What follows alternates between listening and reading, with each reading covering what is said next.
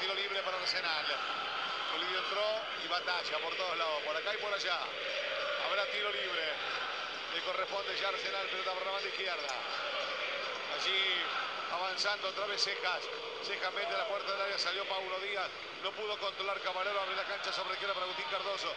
Yo digo, si Cardoso entró para jugar abierto a la izquierda, tirar centro, porque no se quedó pobre para eso, ¿no? Digo yo, que lo venía haciendo bien.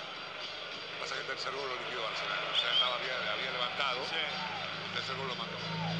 De la Cruz que la va jugando alta la pelota para Marco.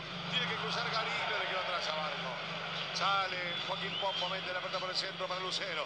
Lucero con Rivero. Salió para pivotar Cavalaro a la derecha. Puso la pelota otra vez para Lucero. Lucero va contra la puerta del área.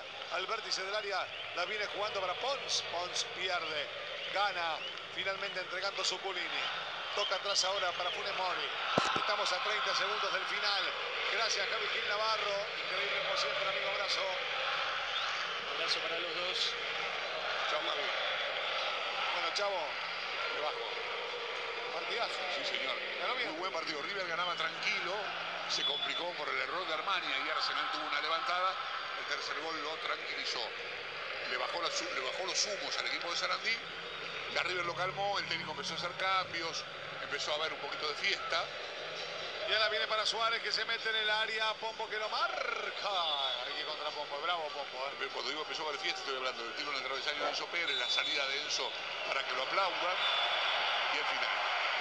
Ganó River 3 a 1. Se queda con fútbol 1. En la continuidad después venimos con Sport Center.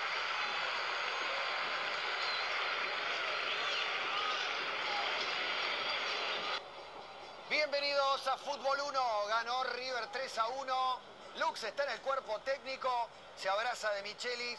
Un primer tiempo que pintaba para baile. Un segundo tiempo con Arsenal. A